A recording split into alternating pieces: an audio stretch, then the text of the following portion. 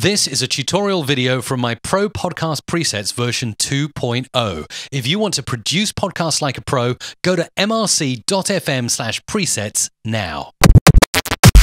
Sometimes you'd like to include some talkover music in your podcast, and that's perfectly fine, but often it's difficult to hear what's being said over the music unless you get those levels right.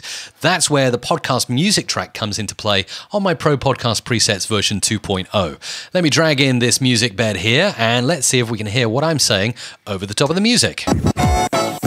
My guest is Mike Dawson. Mike is a professional voiceover talent. He's an audio. That's pretty good, isn't it? That sounds great. So, what's going on under the hood in the effects rack? First, we have a vocal enhancer that allows the music to be less aggressive underneath the voice.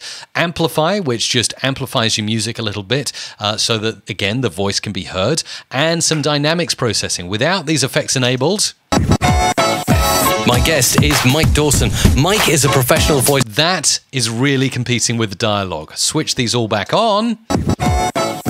My guest is Mike Dawson. Mike is a professional voice. Much easier to hear what's being said, which is the intention, over the talkover music. So, whatever music you bring into your podcast, make sure to insert it onto the podcast music channel, and you're going to have absolutely no issues with levels of voice on top of music. There you go. So if you want to produce podcasts like a pro, go and grab my Pro Podcast Presets 2.0 at mrc.fm slash presets.